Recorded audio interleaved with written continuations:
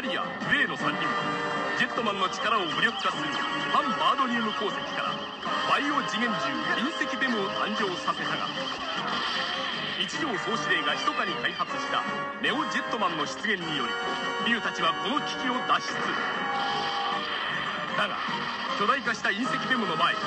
ネオジェットマンのジェットイカルスは倒され救出に向かった竜たちに絶対絶命の危機が襲いかかった。信ができない。